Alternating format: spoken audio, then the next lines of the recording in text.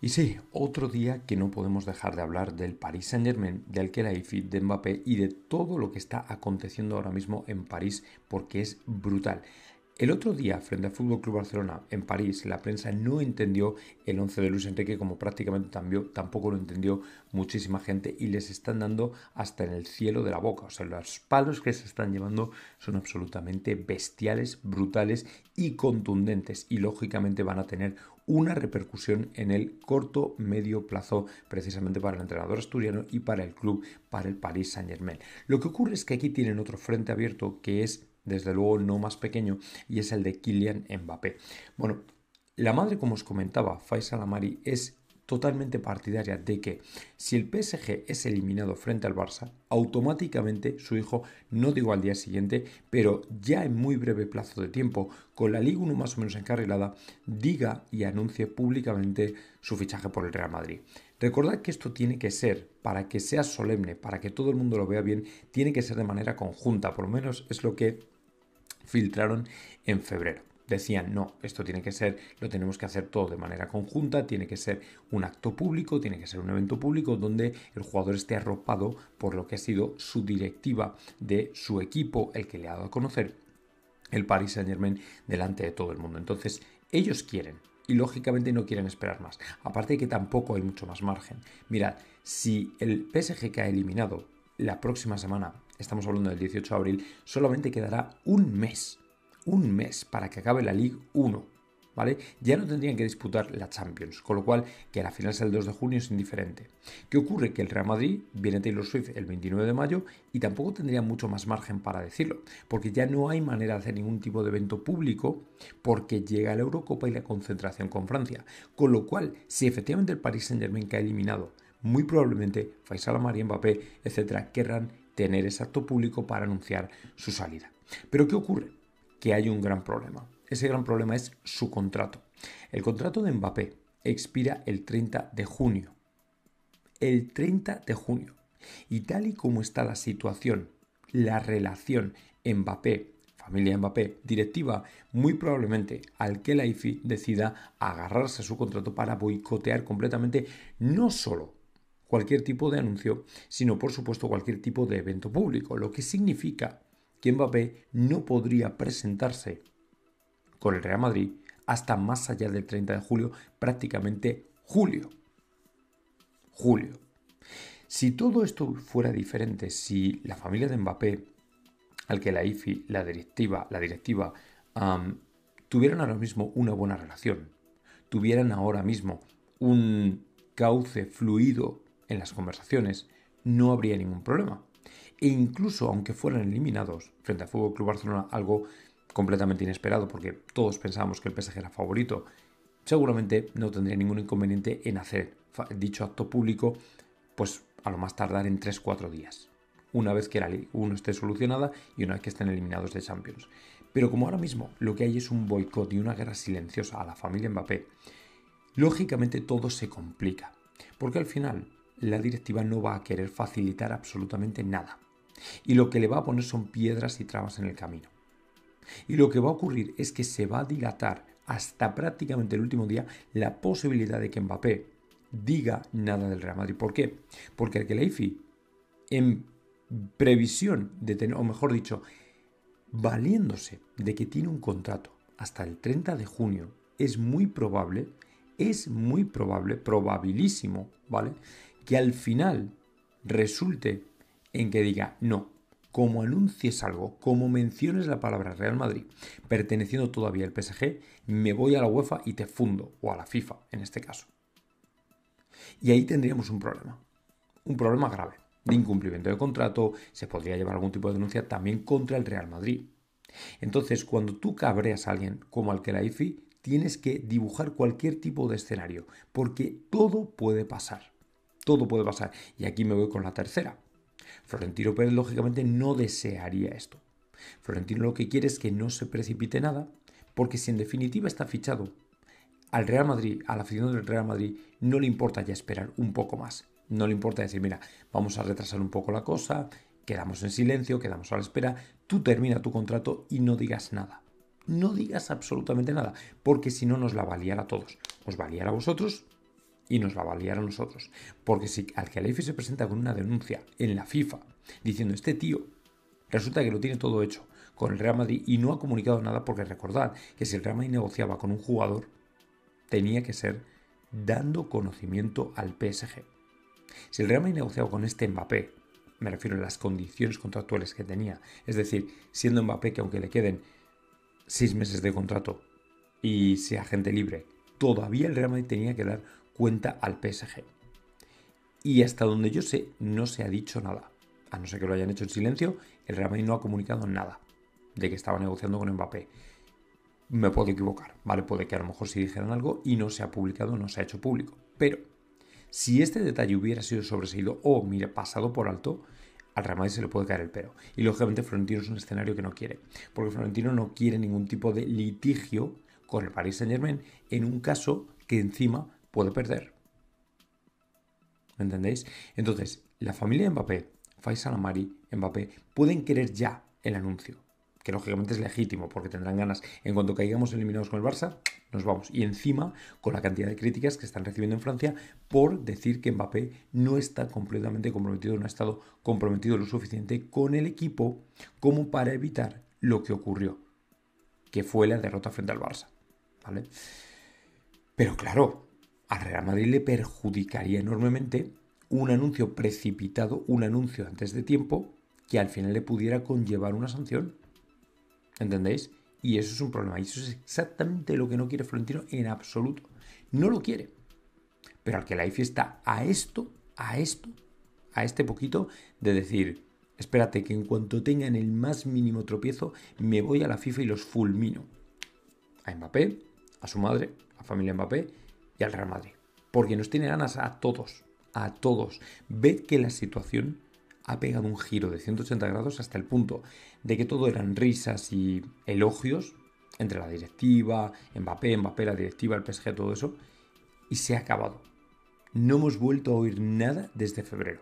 ¿Por qué? Pues porque al final lo único que ha quedado son los cambios de Luis Enrique a partir del minuto 65 o las suplencias de Mbappé.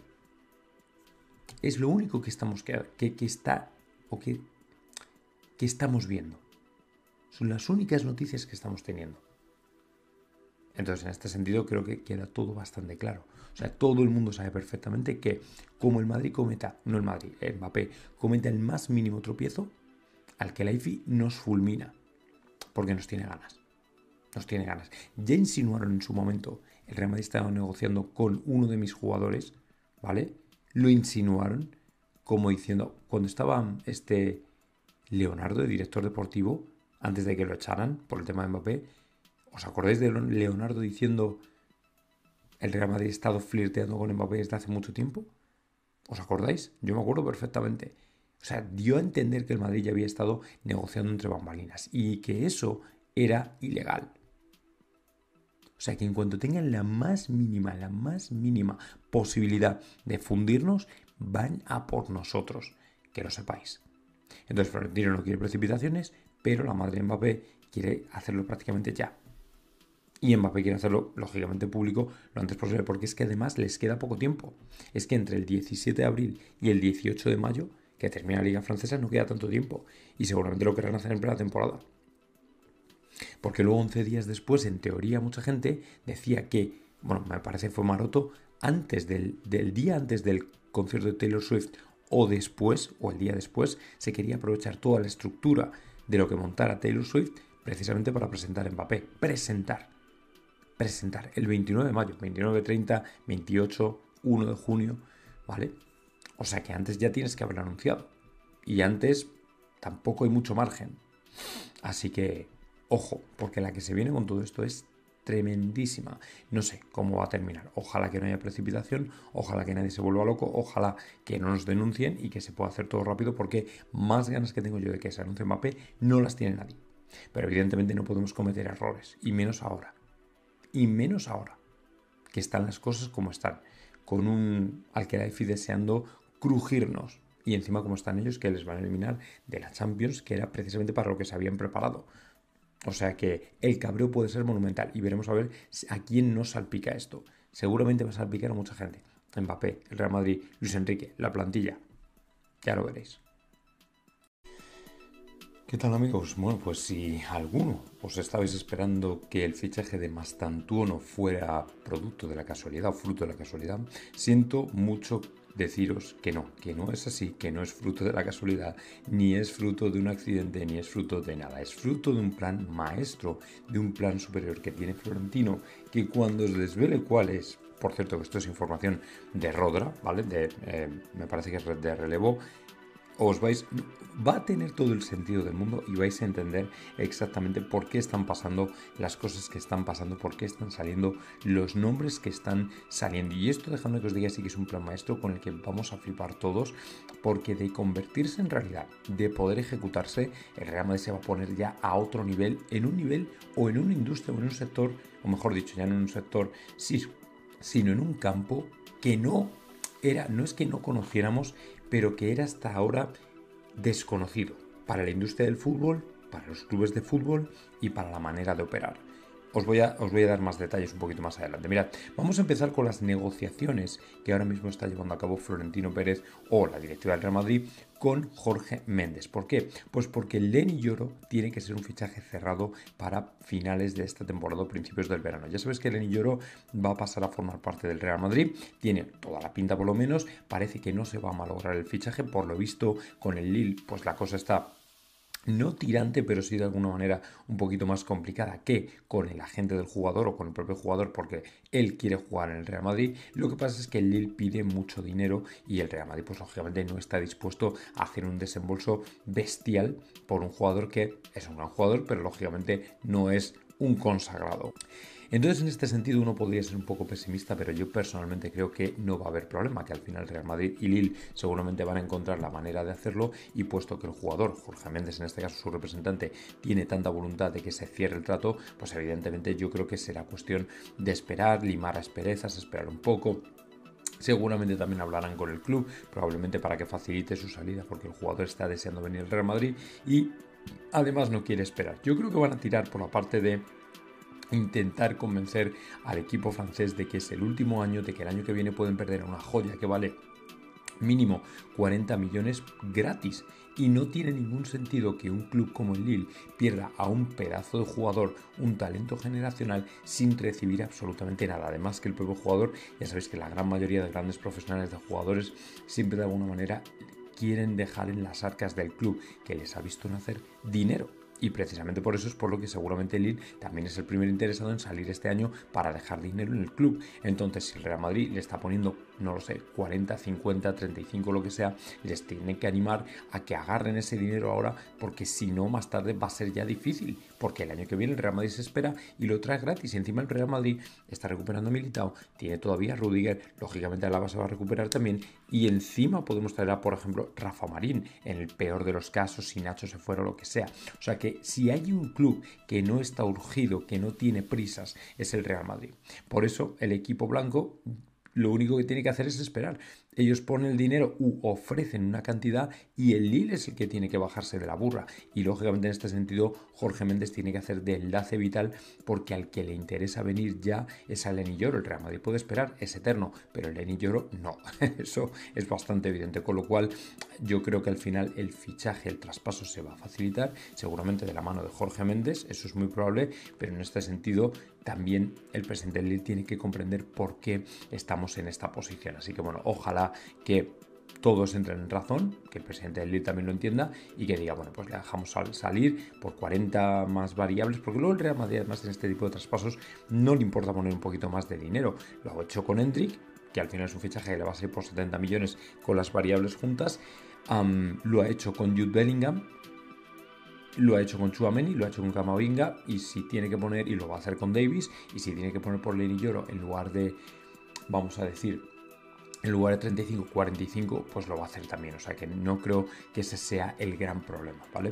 Eso por la parte del Enillero. Luego, vamos ya con, nos vamos a ir acercando al plan maestro de Florentino. Y esto viene a través de la orden que tiene ya o Juni Arfado José Ángel Sánchez de cerrar el tema de Mastantuono. Ayer sabéis que hablábamos precisamente por la información sobrevenida de que el Real Madrid iba muy muy fuerte y muy muy en serio a fichar a Mastantuono, que no es ninguna broma que efectivamente el equipo, y además esto viene de Rodra, el equipo está preparado para hacer este fichaje que seguramente pueda acometerse precisamente en esta temporada y esto es algo que vamos a tener en cuenta porque en las próximas semanas seguramente sea cuando se cierre el fichaje del jugador si es que al final llega a buen puerto. Otra cosa es lo que el Real Madrid tenga pensado a nivel de traerle ya o por el contrario esperar un poquito más precisamente para que el jugador se haga un poco más en River Plate y pueda venir ya la temporada que viene. Pero sea esta temporada o sea la que viene, creo que es un muy buen fichaje. Creo que el Real Madrid está haciendo todo lo posible por traerle, porque además creo que es un auténtico escándalo de jugador. Y luego además, y ya voy a pasar al plan maestro, es que salió otro nombre junto con el de Mastantuono, que es el de Tomás Parmo. Tomás Parmo es un jugador de Independiente y veis aquí la relación, sí, efectivamente la nacionalidad. ¿Por qué? porque ahora ya me voy directamente al tema.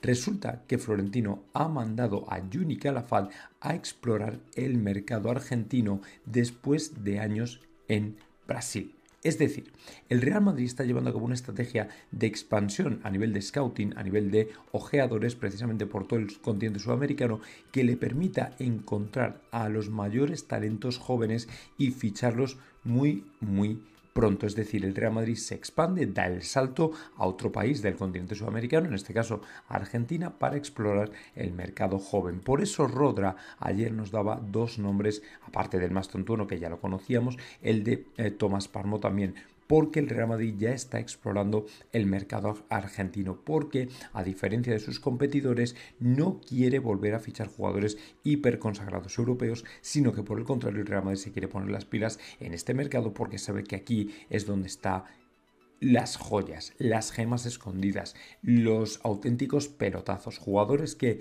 tienen todo el talento del mundo, que tiene que ser pulido, eso sí, pero que lo va a hacer en el Real Madrid, o sea, dentro de lo que es la estructura del Real Madrid. Ese pulimiento se va a dar dentro ya de nuestro nombre, dentro de nuestra estructura, dentro de nuestro club, precisamente desde las categorías inferiores o, si está muy avanzado, a lo mejor dentro del primer equipo, pero siempre dentro ya del o debajo del paraguas del Real Madrid. Y esto es una cosa muy buena, esto es algo imaginaos. O sea, al final, si te das cuenta de todo esto, lo que ocurre, lo que ha hecho el Real Madrid, el giro que ha hecho a nivel de política de fichajes en los últimos cinco años, es bárbaro, porque ahora ya no busca un buen jugador que haya hecho una buena temporada en Europa. Ahora ya se va directamente a comprar en origen y lo que hace es chequear todo el mercado brasileño, argentino, seguramente Uruguay también lo tiene tocado y en este sentido al final va a ocupar toda Sudamérica para llegar antes que nadie cuando esté, cuando tenga presencia, antes que nadie, cuando vean a Juni Calafat llegando por esos pequeños estadios o pequeños campos de fútbol a ver a jugadores que tienen un talento espectacular, que destacan por encima del resto y llegue con la camiseta del Real Madrid y diga Florentino quiere que te pongas esto, que es la frase por lo visto que le, dicen, que le dicen a los chavales en los que están interesados, pues claro, la gente va a decir, hostia, se va a matar por venir al Real Madrid. O sea, todo este efecto llamada que ha tenido los brasileños, Vinicius, Rodrigo, con Hendrik, con Estebao, con todos estos jugadores, se va a producir, pero a nivel de toda Sudamérica. Y eso es algo muy bueno, porque en definitiva no tienen sobreprecios. Es verdad que lógicamente van a aprovechar para sacar buenos datos, pero no tienen sobreprecios. Son jugadores que están en su precio, no están sobrevalorados, son jóvenes y tienen muchos años por delante para que el Real Madrid pueda amortizar. Y lógicamente, si te sale mal, tienes un jugador que a lo mejor se te queda en el Castilla, pero puedes luego vender a equipos de primera y haberle sacado una inversión o un, rendimiento espectacular.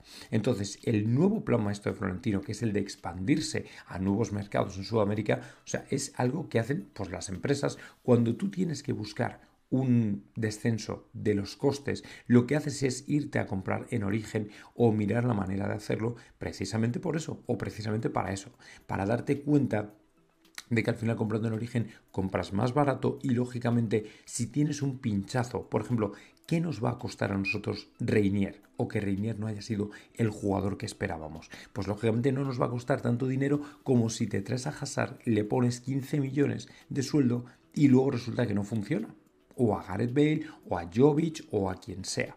Vale, he dicho Hazard porque como podría haber dicho cualquier otro. Entonces, el ya no quiere este tipo de fracasos. Entonces prefiere comprar en origen, intentando descender los costes o rebajar los costes para que en el caso de fracaso no sea una ruina absoluta. ¿no entendéis? Así que de verdad creo que este plan maestro Florentino, ojalá que esté tomando ya cuerpo, seguramente ya lo está, porque con más Tontuno, pues Tomás Parmo y alguno más seguramente ya están en ello, así que bueno, pues vamos a ver porque seguramente salgan muchos más nombres.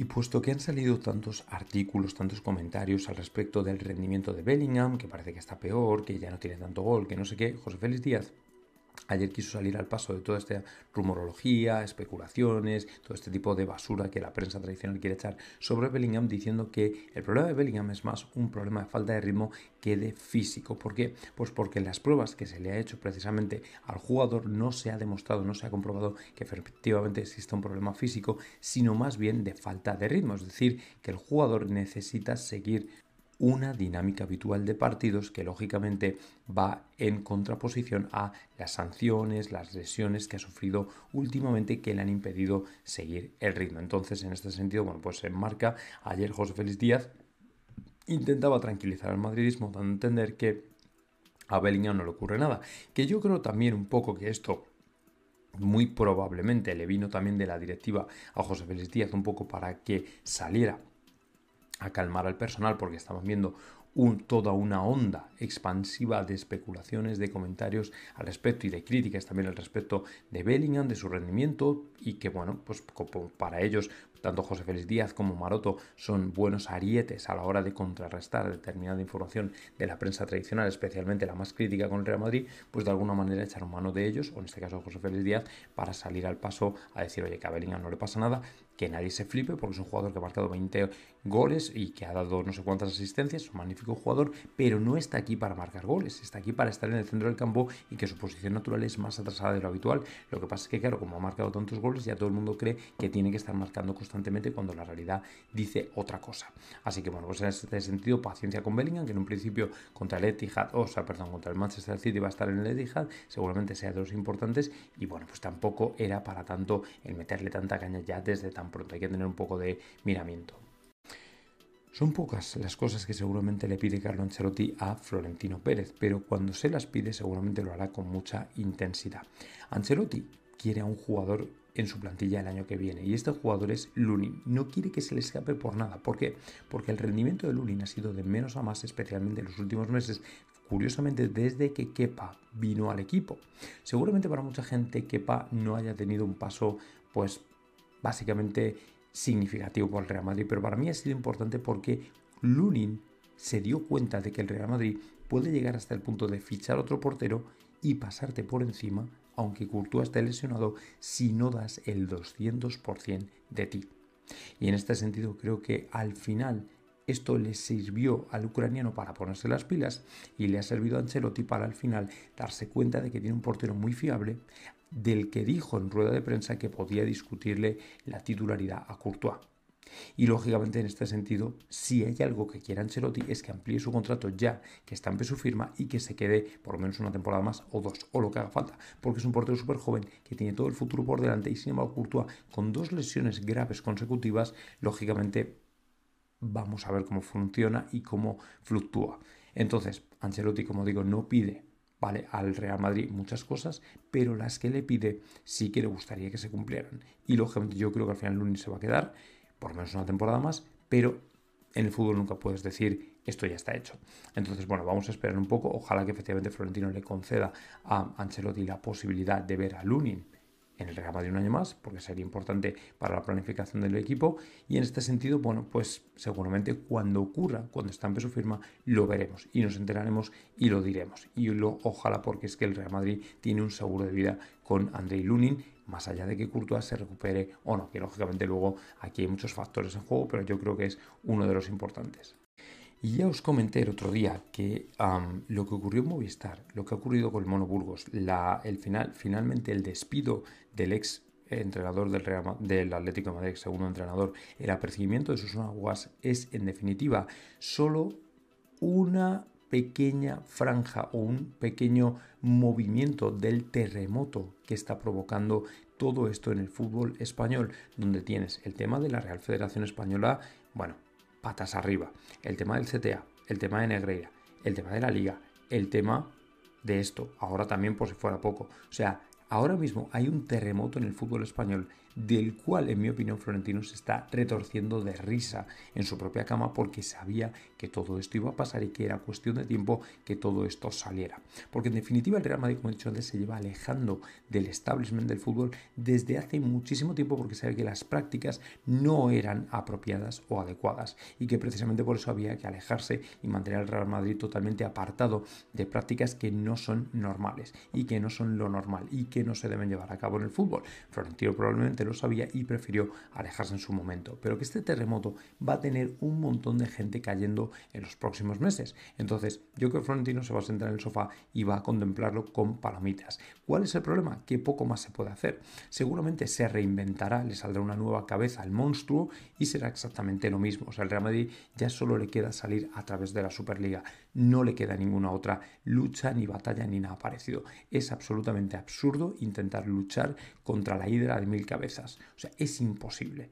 Entonces, porque se va reinventando constantemente. Es como la termodinámica, ni nace ni muere, solo se transforma. Pues esto es igual. Entonces yo creo que el Real Madrid lo que tiene que hacer es esperar a la Superliga, a que esté ya eh, funcionando y olvidarnos de todo esto porque nos vamos a ahorrar dolores de cabeza y una pérdida de tiempo y dinero bárbara. Ya lo veréis. Y el videaco que está causando sensación por todas las redes sociales es el del compañero de Benzema siendo latigado por una persona del público. Que también os digo, allá en Arabia, de la Litijad, que también os digo una cosa.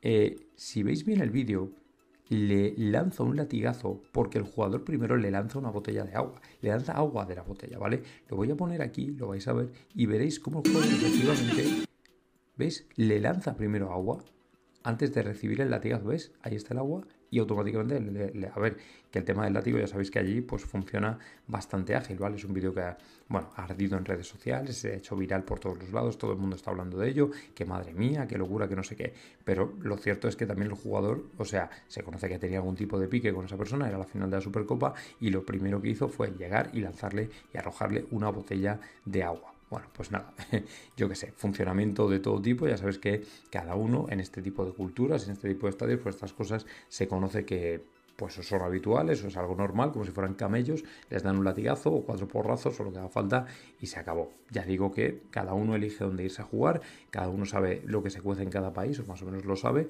y entonces en este sentido, pues claro, a nosotros nos llama la atención porque sacar un látigo para atizar a un jugador, eso es propio de pues, los esclavos en su momento, ¿vale? Pero no de gente futbolista que es profesional, que lógicamente está ahí por un sueldo y que en definitiva, pues oye, no van a regalar su trabajo y para que les den latigazos, pues no creo que estén, pero bueno, que también es verdad que el jugador primero lanza agua, ¿vale? Si no hubiera lanzado agua, a lo mejor se queda en refirrafe verbal y se acabó. Pero lógicamente todo esto, pues al final ha ardido en las redes precisamente porque es un látigo, ¿vale? Es un látigo lo que saca el tipo y le atiza, ¿vale? Latiga, por así decirlo, al jugador del compañero de Benzema, por cierto, de la Litijad, que luego por otro lado tampoco sé cómo quedó la Supercopa, pero bueno, tampoco me interesa mucho, sinceramente, el resultado. Lo que sabemos es que Benzema estaba bastante quemado con su experiencia en Arabia Saudí, porque evidentemente no es ni mucho menos el Real Madrid.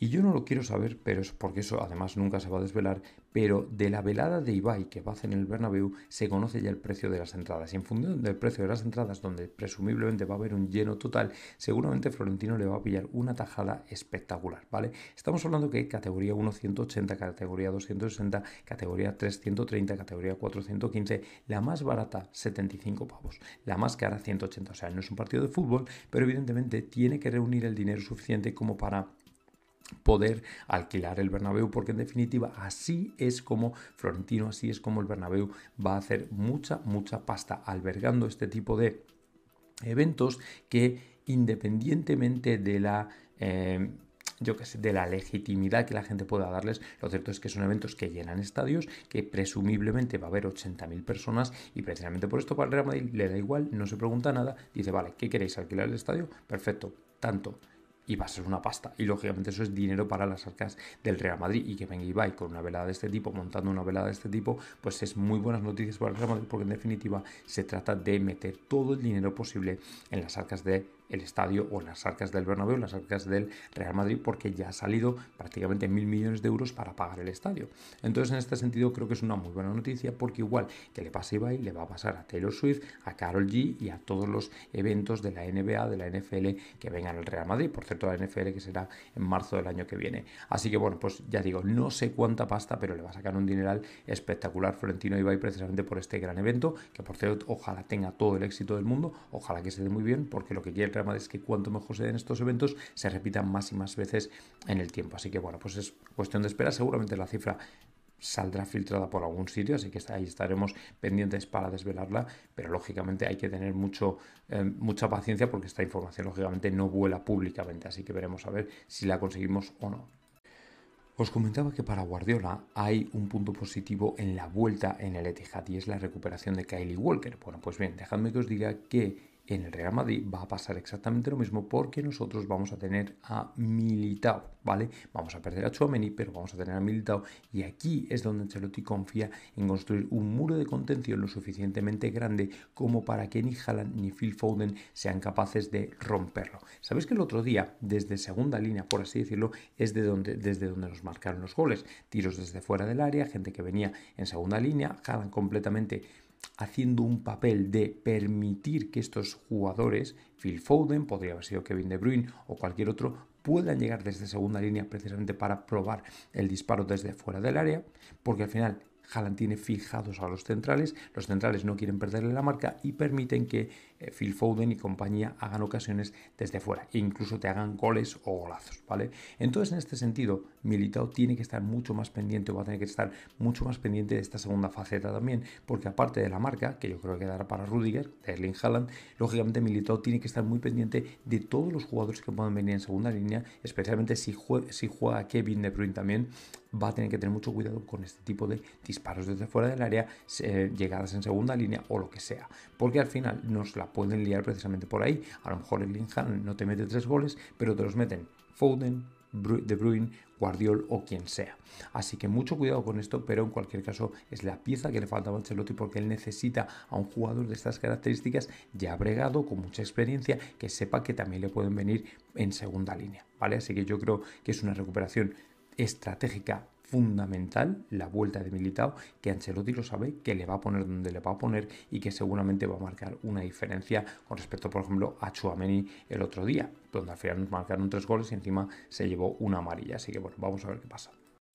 Y bueno, ya el partido de Mallorca se viene con sorpresitas porque la verdad es que, bueno, pues nos agradará mucho ver que efectivamente Arda Guller, como parece, va a estar precisamente en ese 11 inicial frente al Mallorca. Han sacado por aquí un 11 que puede ser muy probable porque estaría Brahim por la izquierda, José Lu por derecha y Arda Guller ocupando el puesto de Bellingham con Modric, Ceballos y Chuameni. En definitiva, un 11 que está hecho para descansar, un 11 que está hecho pensando en la vuelta del City más que en el partido del Mallorca, pero es un 11 que al final le puede servir a estos jugadores precisamente para convertirse en los auténticos héroes de la liga, porque déjame recordaros que el Real Madrid tiene que sentenciar. O sea, el Real Madrid no puede pensar que está el campeonato hecho, el Real Madrid tiene que seguir pensando que tiene que seguir sumando puntos, porque aunque la cosa esté más o menos encarrilada y tal, lo cierto es que el Real Madrid tiene que cerrar la liga. Y para ello, Guller ahora sí tiene una oportunidad de oro de demostrar que quiere jugar en Real Madrid, que puede jugar en Real Madrid, que tiene que seguir adelante, que tiene que demostrar a todo el mundo que estas pequeñas oportunidades son gloria para él y demostrar el talento que tiene. Que para mí no va a haber duda de que lo va a hacer, pero cuidado que estamos hablando de un Mallorca que si te tiene que romper las piernas, te las rompe. Y no es fácil. Lógicamente el papelón que le ha tocado a Guller en este caso o a Brahim es difícil porque al final tiene que suplir a los mejores, que son Vinicius, Bellingham, etc. Y encima en un estadio que es probablemente un escenario que es de lo peor que te puede tocar cuando se trata de jugar al fútbol. ¿Vale? Cuando jugamos otras cosas, pues está muy bien, pero al fútbol complicado. Entonces, en este sentido, como digo, tienen un papelón importantísimo, ¿vale? Muy complejo, pero yo le deseo todo lo mejor a Guller. Yo creo que esto puede marcar un poco el devenir de su futuro en el Real Madrid. Una buena actuación, lógicamente, le granjearía confianza por parte de Ancelotti, pero como digo, hay que saltar al campo, hay que demostrarlo y lógicamente hay que decir, aquí estoy yo. Y este es el partido donde tiene que decir, aquí estoy yo. Y como os dije el otro día, cuando Luis Enrique presenta su once inicial frente al Fútbol Club Barcelona, no solo hay gente que lo cuestiona y no lo entiende, sino que la propia prensa francesa explota literalmente contra todo esto. Vamos a escucharles un poco, y aunque esté en francés, os voy a ir traduciendo.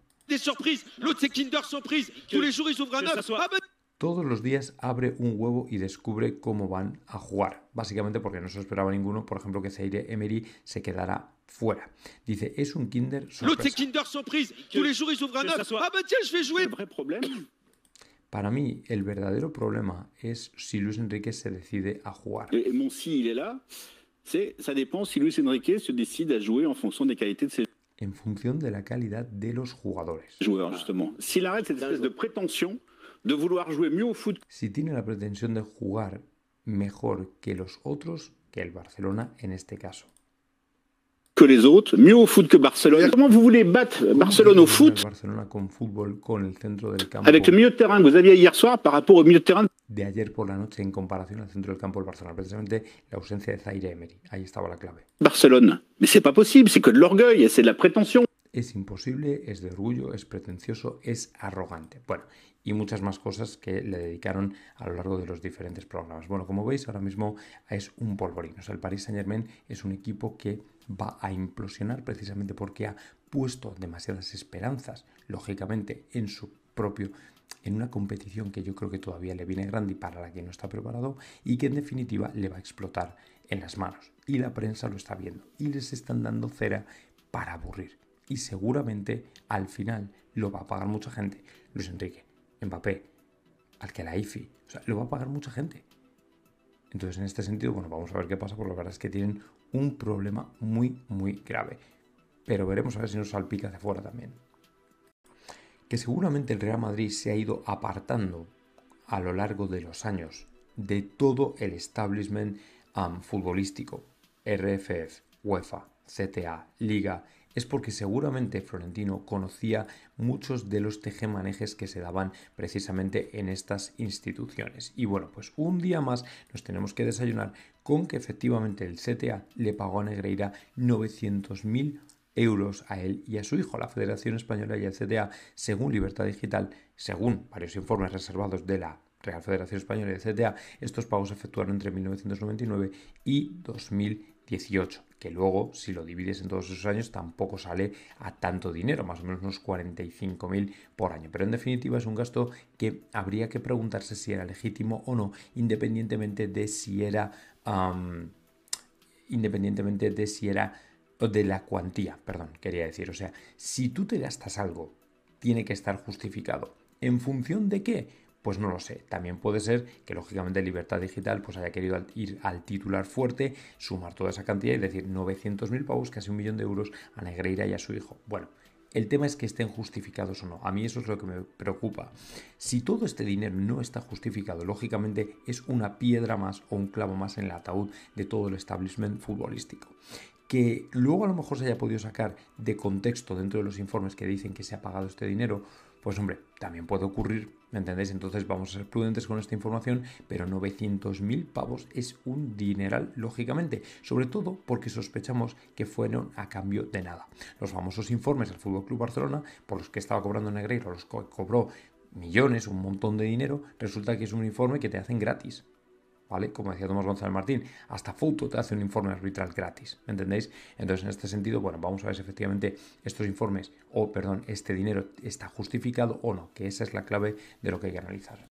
Y bueno, sabéis que ayer publicábamos, no nosotros, sino una, me parece que era Fútbol Net 365, una oferta que me parece de lo más realista y me parece de lo más probable del Liverpool por Fede Valverde para el año que viene, porque ya sabéis que hubo una oferta también el año pasado porque llevan intentando fichar a Fede Valverde como dos o tres temporadas. Pues bien, ya os digo yo que la respuesta seguramente si nos han dado ya les va a llegar pronto y esa respuesta de Fede Valverde es un rotundo no. Fede Valverde no se va a ir por gusto al Real Madrid porque su sueño ya sabéis que era el de ser capitán del equipo blanco, que además ya tampoco es tan difícil porque con toda la marea de gente joven que está llegando y Luca Modric seguramente de salida, Tony Cross el año que viene de salida también, es muy probable que Fede Valverde vuelva a verse o se vea, mejor dicho, en la tesitura de decir, hostia, voy a tener 26 años y voy a ser capitán del Real Madrid o uno de los capitanes del Real Madrid porque Carvajal, Nacho, Lucas seguramente irán saliendo también poco a poco, que a lo mejor no son los 26 a los 28, le da igual. Él lo que quiere es ser capitán del Real Madrid. Entonces, a no ser que la cosa se pusiera muy complicada, desde luego Fede Valverde no se va a ir. Porque además, dejadme que os dé un pequeño detalle, el centro del campo está ya más o menos completo. O sea, ahora mismo ya no suena ningún jugador para el centro del campo del Real Madrid, ningún jugador nuevo, como lo podían hacer el año pasado Chuameni, Bellingham, Camavinga, no tiene ya prácticamente diría ningún temor o no tiene que temer a otro gran jugador que pueda venir a eclipsarle. Entonces, en este sentido, yo creo que no tiene ningún motivo para decirme voy al Liverpool. Si, por ejemplo, habláramos de jugadores de ataque, tipo Rodrigo, pues a lo mejor os diría, hostia, este tiene mucho más que temer. Pero en este sentido, yo personalmente creo que Valverde puede quedarse con toda la tranquilidad del mundo, que va a tener muchas posibilidades, muchas opciones, y sinceramente no creo que vaya a pegar un cambio espectacular ni brutal. O sea, yo personalmente creo que hace muy bien en quedarse porque además va a seguir siendo un jugador importante, va a seguir siendo un jugador clave, va a seguir siendo un jugador que tiene que estar ahí para ofrecer al Real Madrid lo mejor de sí mismo. Así que hace muy bien en decirle que no al Liverpool porque el Real Madrid tampoco va a querer venderle ni de coña. Y ahora una pequeña actualización con respecto al partido de vuelta frente al City porque Guardiola va a tener lógicamente a uno de sus mejores soldados ya completamente recuperado y preparado y esto sí es una amenaza, esto sí es un gran problema para el Real Madrid. Kylie Walker se espera, como ya muchos sospechábamos, que esté preparado para el segundo partido en el Etihad, para el segundo partido, partido de vuelta frente al Real Madrid para neutralizar completamente a Vinicius, o por lo menos intentarlo. Bueno, yo espero que el desenlace de este partido sea completamente distinto al desenlace del año pasado, donde, como sabéis, fuimos arrollados por un grandísimo Manchester City que nos echó a la cuneta en semifinales. Bueno, lógicamente todo este tipo de actualizaciones a nivel de estado de jugadores es importante porque efectivamente ya vas asumiendo lo que te vas a encontrar. Que nosotros también tenemos a nuestras pequeñas piezas sorpresa en este puzzle, y os voy a desvelar alguna, pero claro, el hecho de que venga todo un Kylie Walker, lógicamente que se recupere, pues no es una buena noticia para el Real Madrid y sin embargo muy buena para Guardiola, que lógicamente va a tener a uno de sus mejores jugadores ya completamente preparado. Esto quiere decir que el partido va a ser incluso más competitivo y más competido que el del Bernabéu, que ya fue un espectáculo, fue un partidazo, pero que no dejó de ser un mal resultado para nosotros. O sea, que nadie se vende los ojos pensando que, ¡buah, qué partidazo! A ver, fue un partidazo por espectáculo, pero claro, un 3-3 en el Bernabéu, cuando el City es capaz con un Haaland anulado de hacerte tres goles, dime tú, dime tú. O sea, es, muy complicado. Entonces, en este sentido, bueno, vamos a ver cómo superamos, vamos a ver cómo podemos tirar hacia adelante, porque el partido que tenemos en el Etihad es caza mayor. O sea, una cosa muy complicada. Así que ojalá que podamos efectivamente manejar los tiempos del partido. Ojalá que estemos inspirados porque el partido que nos espera es una auténtica guerra. Y ojalá que sea la heroica o la épica o lo que sea, pero que sea algo porque el Real Madrid tiene que tirar adelante con todo esto. No va a ser tan fácil. Antes de continuar con todo lo que es tema de fichajes, ventas, todo este tipo de planificación de la plantilla la temporada que viene, tengo que hacer alusión, tengo que referir una apuesta que se hizo ayer Tebas, que ojalá efectivamente bueno, no que se cumpla porque no se va a cumplir, pero ya lo veréis porque al final este tipo de bravuconadas se pueden pagar. Tebas dijo ayer que si en cuatro años la Superliga está muerta, se va. Y que si no, intentará seguir, como dando a entender que si efectivamente la Superliga ya no es nada, pues que ya no hará falta su presencia y que él indirectamente te está diciendo que se va a erigir en el campeón de la lucha contra la Superliga y en el defensor del fútbol más puro y más genuino, porque él es así de bueno. Bueno, pues nada, él dice además y añade en unas declaraciones que para mí están fuera de lugar que la influencia de Florentino en el país no es una buena cosa y que en definitiva es un problema, que lo vimos en el palco del City, rodeado a Florentino pues de toda la florinata, políticos, jueces o no la gente que vaya al palco y que eso no es una buena influencia. Bueno, yo creo que esto se contesta solo. La Superliga no va a morir, la Superliga va a nacer y la Superliga va a arrasar con todo el establishment futbolístico, incluido Tebas.